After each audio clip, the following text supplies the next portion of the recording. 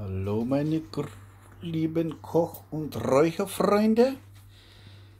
Heute richtig ein Stück her. Das wird einverkümmert und dann später geräuchert.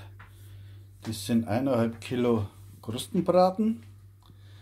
Dazu habe ich schon hergerichtet 45 Gramm Salz, 4 Gramm Zucker, 0,3 Gramm Ascorbinsäure, 10 10 Wacholderbeeren, die habe ich da drin schon gemörsert. Also 10 Stück Wacholderbeeren. Pfeffer und Paprika. Das wird jetzt schon damit eingerieben, das Fleisch. Ja, und dann zeige ich das, wie es dann weitergeht.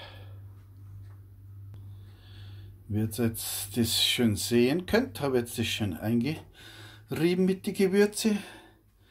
Das wird jetzt im Vakuumbeutel reingemacht und die restlichen Gewürze kommen dann noch dazu.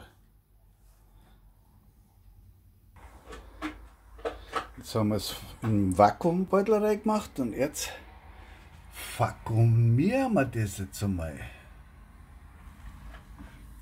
Drücken. Jetzt wird das schön vakuumiert.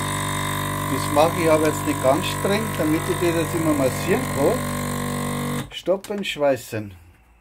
Weil normalerweise wenn wir anders Fleisch einfach mit machen wir das richtig fest, aber das mache ich nicht so fest, weil sonst habe ich den Platz ja nicht mehr, dass ich das Fleisch so massieren dann kann jeden Tag oder zumindest jeden zweiten Tag. Und das war's jetzt schon. Jetzt warten wir sechs bis acht oder sogar zehn Wochen und dann überlege ich mir noch, ob ich das luftgetrocknet mache, das Stück Fleisch oder im Kaltrauch bei dreimal acht bis zehn Stunden. Das sehe ich aber jetzt schon. So, 40 euer Albert.